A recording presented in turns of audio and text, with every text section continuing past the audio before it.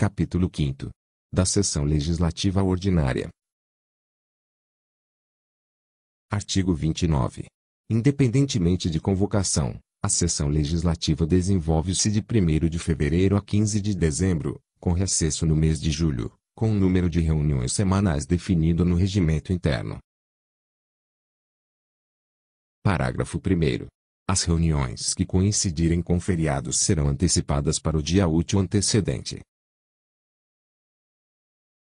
Parágrafo 2. A sessão legislativa não será interrompida sem a deliberação da Lei de Diretrizes Orçamentárias, do Plano Plurianual ou do Orçamento Anual, quando em tramitação.